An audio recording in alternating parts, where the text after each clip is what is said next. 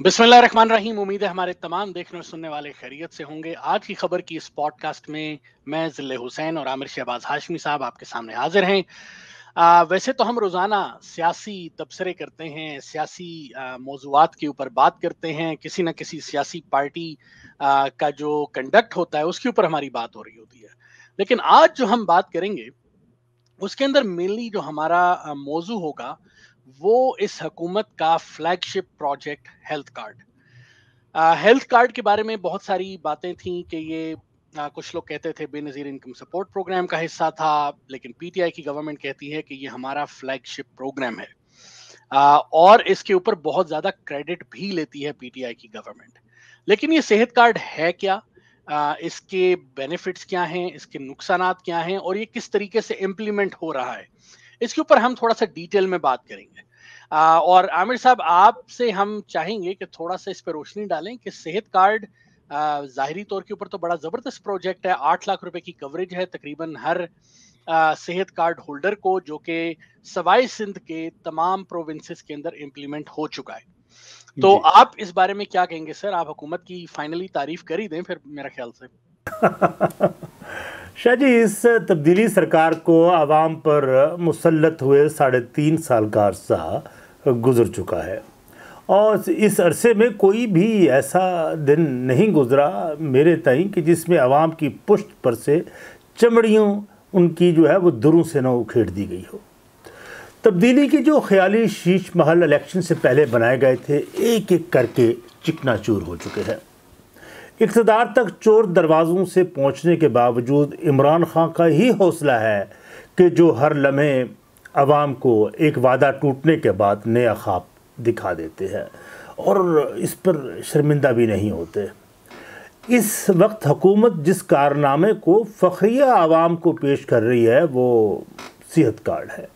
जिसको पेश करके अपने आप को मसीहा के तौर पर वो पेश किया जा रहा है, प्रेजेंट किया जा रहा है।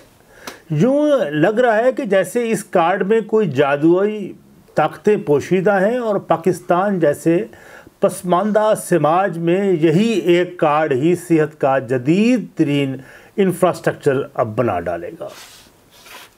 जदीद सहूलियात से आरस्ता सरकारी अस्पतालों की तमीर से लेकर सरकारी मेडिकल कॉलेजेस, पैरामेडिकल ट्रेनिंग अदारों का क्याम। इस हकूमत की तरजीह में सिरे से शामिल ही नहीं है। आप चेक कर लें इनका एजेंडा। पाकिस्तानी अवाम दुनिया की वो वाद बदकिस्मत और बदबख्त कौम है, जिनके इलाज पर सरकारी अखराज जी डी पी का एक फ़ीसद से भी कम खर्च किया जाता है। हालाँकि सरमादाराना निज़ाम के अपने मैारात, यानी वर्ल्ड हेल्थ ऑर्गेनाइजेशन के मुताबिक हुकूमतों को कम अज़ कम जी डी पी का छः फ़ीसद सेहत पर खर्च करना ज़रूरी उन्होंने करार दिया है। जबकि पाकिस्तान की बदकिस्मती तो मुलाहजा फरमाएँ कि गुज्त तेरह सालों में सिर्फ़ ज़ीरो पॉइंट फिफ्टी फ़ीसद परसेंटेज जो है वो सेहत पर खर्च किया जाता है। और सेहत की सहूलियात के हिसाब से पाकिस्तान दुनिया के एक सौ पचानवे ममालिक में 154 नंबर पर आता है ऐसे। हमसे भूटान, बांग्लादेश, श्रीलंका बहुत आगे है। पाकिस्तान में पैदा होने वाले हज़ार बच्चों में से अट्ठासी बच्चे ज़िंदगी की बजाय मौत लेकर माँ के पेट से बहर आते हैं।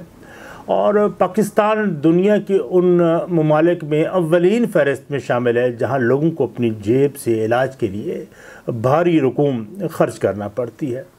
इतनी बदतरीन सूरत हाल अफ्रीका के इंतहाई पसमानदा मुल्कों में भी नहीं है। पाकिस्तान में बारह सौ अफराद के लिए एक डॉक्टर मैसर है, इसलिए यहाँ अताइयों की भी भरमार है। देहातों और शहरों के पसमानदा इलाकों में अताई आवाम की ज़िंदगियों से दीदा दलेरी से खेलते नज़र आते हैं।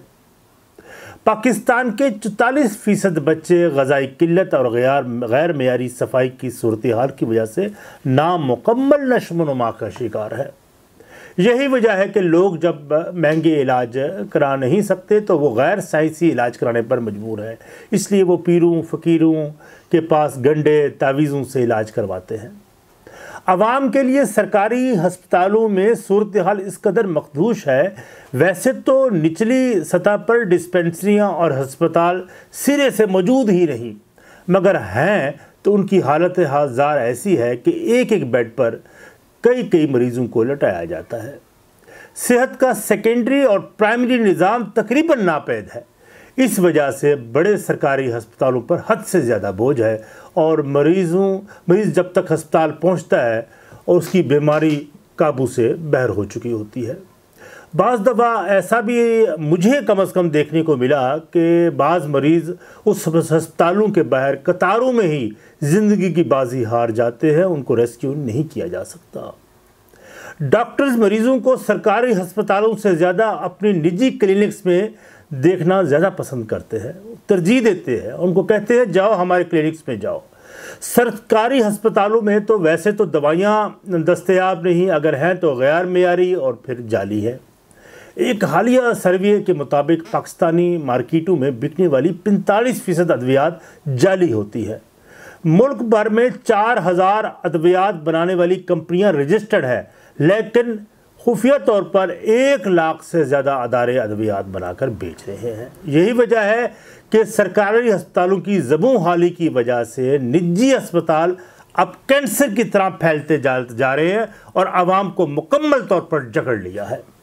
और माशरे में ये जो प्राइवेट हॉस्पिटल्स हैं, वो भी हैरान कन हद तक अब शरात कर चुके हैं। जैसे जैसे निजी अस्पतालों की तादाद में इजाफा हो रहा है, मौत का नंगा रक्स और भी वहशतनाक होता जा रहा है। किसी भी संगीन बीमारी में मुबतला कोई भी शख्स मकरूज हुए बगैर पाकिस्तान में बगैर इलाज नहीं करवा सकता। ज़िंदगी भर की जमा पूंजी लुटाए बगैर भी ज़रूरी नहीं कि वो शफा याब हो जाए, वो मर जाता है फिर भी। पेशा वराना नाअहली या गफलत को हमेशा हमारे यहाँ तो किस्मत पर डालकर इन बेहुदा और मकरू निज़ाम को फिर हम खुली छुट्टी भी यहाँ दे देते हैं। हुकूमत पाकिस्तान अद्वयात बनाने वाली निजी कंपनीज़ के हाथों ब्लैकमेल हो रही है, जिसकी वजह से अद्वयात की कीमतों में बेपनाह इजाफा हो रहा है। और दूसरी तरफ़ अफसोस का मकाम है कि हमारे इलेक्ट्रॉनिक मीडिया जो माइक पकड़कर हर रेडी वाले के मुँह में घुस जाता है और प्रिंट भी मीडिया भी उसी रवश पे चल रहा है, वो इस संगीन मामले पर बात करने को तैयार ही नहीं है। और अगर आप और मुझ जैसा कोई शख्स बात करता है तो नकार खाने में उस तूती की आवाज़ अब कोई सुनने को भी तैयार नहीं। वैसे भी मीडिया पर कारपोरेट सेक्टर के डाकुओं ने अपना कब्जा जमा रखा है। इसलिए सेहत जैसे शोबे में निजी अदारों की लूट पर, लूटमार पर चशमपोशी की जाती है। इतनी अबतर सूरत हाल में तब्दीली सरकार की तरफ़ से ये हेल्थ कार्ड आवाम के रस्ते रिश्ते ज़ख्मों पर नमक पाशी नहीं तो फिर और क्या है? ये हेल्थ कार्ड कम आमदन वाले घरों में तकसीम करने का मनसूबा है। वैसे भी कम आमदन की असलाह बजाते ख़ुद तशरी के मुतकाजी है। तो उसको डिस्क्राइब तो करें कि वो कौन कम आमदनी वाले लोग हैं। जब करप्शन रियासती ढांचे में बुरी तरीके से सरायत कर चुकी हो तो किसी भी स्कीम को साफ़ और शफाफ तरीके से आवाम तक पहुंचाना नामुमकिन होता है। ये हेल्थ कार्ड एक्चुअली सियासी पॉइंट स्क्वेयरिंग है। ये हेल्थ कार्ड अगर आवाम के इलाज के लिए मुख्त है, भी तो ये सारा गोरख धंधा इलाज के निजी कारोबार को सरकारी तौर पर आशीर्वाद देने के लिए है। हर इंसान या शहरी के मुफ़्त इलाज को बुनियादी हक तस्लीम करने की बजाय इंतहाई अजारी से, बल्कि मैं कहूँगा इंतहाई सफाकी से शोबा सीहत की निजकारी के, की जा रही है। और इससे पहले आपके इल्म में है शाहजहा, कि इसी हुकूमत ने एम टी आई एक्ट का नफाज किया, जिसमें सरकारी अस्पतालों को फ़ीस लेकर इलाज करने का कहा गया। यह सरकारी अस्पतालों को निजी और ख़ुद मख्तार अदारों की में तब्दील करने का मुतरदफ था। इसी सेहत कार्ड की वजह से निजी अस्पताल अब से ये ऐलान हुआ है। पहले खैबर पख्तूनख्वा में हुआ, अब पाकिस्तान पूरे में हुआ। तो निजी अस्पताल भी खूबियों की तरह हर जगह पर अब उगना शुरू हो होना शुरू हो गए हैं। हर जगह हमें अब निजी अस्पताल आपको नज़र आना शुरू हो गए हैं। और अब सेहत कार्ड की मुख्त फ़ंड से ये लुटेरे मुस्तफ़ हो रहे हैं। हुकूमत की सेहत से मुतक पॉलिसी और कार्ड की वजह से निजी अस्पतालों की तजोरियों को भरा जा रहा है। सेहत के मुतालिक ये निज़ाम इस कदर पेचीदा भी बनाया दिया गया है कि अक्सर सूरत, सूरतों में लोगों को एक दफ्तर से दूसरे दफ्तर, एक कतार से दूसरी कतार और एक अस्पताल से दूसरे अस्पताल में भेजा जा रहा है। दरअसल दरअसल ऐसी वारदातों का मकसद सेहत के शोबे का पहले से कलील बजट को मज़ीद कम करना और निजकारी की राह को हमवार करना है और सरमादारों के मुनाफे में इजाफा करना है। ये हुकूमत बुनियादी सहूलियात पर सरकारी अखराज में कटौतियों को इंतहा पर ले जा रही है। किसी भी फिलाई रियासत में आप कनाडा में बैठे हुए हैं, आपको इल्म में होगा, किसी भी फिलाई रियासत में फौरी और जदीद साइंसी इलाज हर शहरी का बुनियादी हक तस्वर होता है, जिसे किसी सेहत कार्ड के रहीन मिन्नत नहीं किया जा सकता। ना ही कार्ड में मौजूद रकम को इलाज की हदूद का तयन करना चाहिए, ना होता है। ऐसी सोच किसी महजब हुकूमत की नहीं, बल्कि ये गैर इंसानी और वैशियाना अमल है। पाकिस्तान जैसे मुल्क में सेहत के शोबे में सरमाकारी की ज़रूरत है, जिस सरकारी सरमायाकारी की ज़रूरत है, जिससे हज़ारों अस्पताल लाखों की तादाद में डॉक्टर्स और नर्सेस मिल सकती हैं। नई तिब्बी बुनियादों पर नए अदारे कायम करना, करने की ज़रूरत है। ऐसा समाजी इंफ्रास्ट्रक्चर और निज़ाम सेहत मुतारफ़ करना होगा जो इंसान को बीमार ही ना होने दे। और या फ़र्द की बाकायदा तिब्बी मुआयने के ज़रिए बीमारी को उसकी शुरुआत में रुकाबू पा लिया जाए। अब जिस तरह हालात जिस नहज पर पहुँच चुके हैं, अब ज़रूरत इस अमर की है कि मेजर ऑपरेशन की ज़रूरत है। इन निजी अस्पतालों को और दवियात की कंपनीज़ को फौरी कौमी मलकियत में लेकर इसको आवाम के वसी तर मफाद पर निज़ाम पर कायम करना ही इस मसाइल, इस मसले का हल है। जी जनाब। जी सर आपने एक बड़ा मुकदमा पेश किया है लेकिन मुझे इस पूरे सूरत हाल के अंदर आ, ऐसा लगता है कि शायद हुकूमत जो है वो एक आप कह सकते हैं आवाम का बोझ कम करने की कोशिश कर रही है। आपको ऐसा नहीं लगता? मैंने यही अर्ज़ की कि जितना उन्होंने फंड्स अपने मुख्त की हैसियत कार्ड के हवाले से इसके लिए अगर वो अपना बुनियादी इंफ्रास्ट्रक्चर जो हमारे कायम है। डिस्पेंसिस की शक्ल में बेसिक हेल्थ यूनिट्स की शक्ल में, देहातों में, बकाया इलाकों में अगर उस पर मुख्त कर दिया जाता डॉक्टर्स को इंसेंटिव किया दिया जाता लेडी डॉक्टर्स को इंसेंटिव किया दिया जाता पैरामेडिकल स्टाफ को इंसेंटिव दिया जाता तो वो कायम हो सकते थे, वो लोगों को मुस्तफ़ कर सकते थे। अगर बीमारी बढ़ जाए तो फिर बड़े सरकारी हॉस्पिटल में जो ज़िलाई लेवल पर आए या तहसील लेवल पर आए, वहाँ आप मुंतकिल अपने मरीज़ को करके उनका मुफ़्त इलाज किया जा सकता था। ना कि आप चंद लुटेरों, जिनसे पहले ही आवाम तंग थी, जो आवाम की हड्डियों और उनके खून का आखिरी कतरे निचोड़ने पर के दर पे थे, उनको आप मुस्तफ़ करने के बजाय, उनको सरकारी फंड से उनको मुस्तफ़ करने के बजाय अपने इंफ्रास्ट्रक्चर को बेहतर कर लेते तो कितना ही बेहतर होता। जी। जी, बिल्कुल, ये बात दुरुस्त है कि पाकिस्तान में सरकारी डिस्पेंसरीज और अस्पतालों का एक बड़ा जाल मौजूद है। ज़रूरत सिर्फ़ इस बात की है कि एक ऐसा स्ट्रक्चर बनाया जाए कि वहाँ पर डॉक्टर्स की मौजूदगी को यकीनी बनाया जा सके और पैरामेडिकल स्टाफ की मौजूदगी को भी वहाँ पर यकीनी बनाया जा सके जिसके बाद शायद किसी हेल्थ कार्ड की पाकिस्तान जैसे मुल्क में ज़रूरत ही महसूस ना हो। आ, इसी से रिलेटेड सर जो दूसरा टॉपिक है हमारा उसके ऊपर भी हम क्विकली बात करेंगे वो हैं प्राइवेट लेबोरेटरीज और ये जो प्राइवेट आपकी टेस्टिंग लैब्स होती हैं तमाम पूरे मुल्क के अंदर वो फैली हुई हैं हर गली कूचे में आपको नज़र आती हैं। इन्होंने भी एक अंधेर नगरी मचाई हुई है। यहाँ तक कि कुछ अर्सा पहले बल्कि हमारा जो डिजिटल न्यूज़पेपर है उसके अंदर भी इसके ऊपर एक आ, हमने न्यूज़ जो थी उसको कवर किया था। तो उनका क्या सिलसिला चल रहा है? ये क्या लूट मार मचाई हुई है इस वक्त इन प्राइवेट लेबोरेटरीज ने? उसके ऊपर भी थोड़ा सा बताइए। जी ये भी current media world two four seven ने के हक में जाता है लिए लेता है ये। कि पहले भी हमने मीडिया वर्ल्ड ने इसके ऊपर बात की थी और अपना एक ब्लॉग दिया था और आज भी उसने इसका ब्लॉग तैयार करके लोगों को अपने कारीन के लिए पेश किया था। और हैरत अंगेज़ तौर पर इसकी तरफ़ कोई तवज्जो नहीं दे पा रहा। अब जो पीसीआर टेस्ट है, जिसकी चौदह रुपये की वो किट है, जो चाइनीज़ किट है, वो चौदह रुपये की उसकी कीमत है।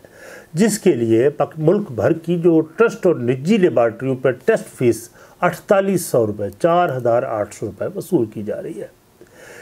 इस कदर लूटमार और इस कदर होशरबा उन्होंने लोगों की जेबों से पैसे ऐंठने का एक अजीब धंधा बना रखा है और उसको मुकम्मल तौर पर सरकारी सरपरस्ती हासिल है। और अजीब सी सूरत हाल है कि इस बार जो पहले छः हज़ार पाँच सौ रुपये थी उसकी कीमत, और इस बार कमाल मेहरबानी हुई ये कि गवर्नमेंट ऑफ़ पंजाब ने इनको उनका अपना एक रेगुलेटरी अथॉरिटी है, पंजाब हेल्थ केयर कमीशन, उसकी जानब से उन्होंने कहा, जी कुछ पैसे आप कम करें। तो उन्होंने चार हज़ार आठ सौ रुपये कर दिए हैं। अब एक जितनी जब ये कोरोना सीज़न आया है तो इन्होंने 10 से 12 अरब रुपए इन लेबॉर्ट्रीज ने रोज़ाना के हिसाब से कमाए हैं। और फिर इनके ऊपर टैक्स भी नहीं लगे टैक्स पे भी इन लोगों को छूट दी गई है। ताकि और अजीब सी सूरत हाल ये है। हालाँकि आप लाहौर की लोहारी मेडिसिन मार्केट है, बहुत बड़ी मार्केट है। वहाँ मैंने ख़ुद भी आज इस्तफसार किया और पता किया कि पीसीआर की एक किट की कीमत चार सौ सत्तर रुपये उन्होंने बताई, जिसके अंदर बत्तीस अफराद के टेस्ट किए जा सकते हैं। इस तरह फिर वो मैंने हिसाब लगाया, कैलकुलेट किया तो एक मरीज़ की किट पर कीमत जो है वो चौदह रुपये अट्ठासठ पैसे बनती है। और लाहौर के जो डिस्ट्रीब्यूटर्स हैं वो इस किट को चाइना से 250 रुपए में सॉरी 225 रुपए में ख़रीद रहे हैं। और वो ख़ुद उसको जब 470 के हिसाब से 25 के 30 रुपए अपना मुनाफा रख कर वो इन लोगों को बेचते हैं लेबॉर्ट्रीज को। लेकिन इनकी बद, इनकी देखें सफाकियत कि वो किस अंदाज से लोगों को लूट रहे हैं कि वो चार हज़ार आठ सौ रुपये जो चौदह रुपये की किट है वो उसके वसूल करते हैं। और उस पर हकूमत ने मुकम्मल अपने आँखें मूंद रखी है। और मैं तो ये समझता हूँ कि इस सर, तब्दीली सरकार ने आवाम के को इन ालमों के उन लुटेरों के इन डाकुओं के रहम करम पर इनको आवाम को डाल रखा है। जी। बिल्कुल सर आप दुरुस्त कह रहे हैं और हमारी हुकूमत लगता है इस वक्त उन्होंने कोई जुगतबाजी के अंदर जो है ना वो पीएचडी की हुई है क्योंकि हर वज़ीर हर वज़ीर आला इवन के हमारे वज़ीर आज़म साहब भी जुगतबाजी के अंदर यद तुला रखते हैं और उसके अलावा लगता है कोई और काम नहीं किया जा रहा। जैसा कि हेल्थ कार्ड के ऊपर जिस तरह हम बात कर रहे हैं तो पिछले दिनों उस्मान बुजदार साहब ने नवाज़ शरीफ साहब को मशवरा दिया कि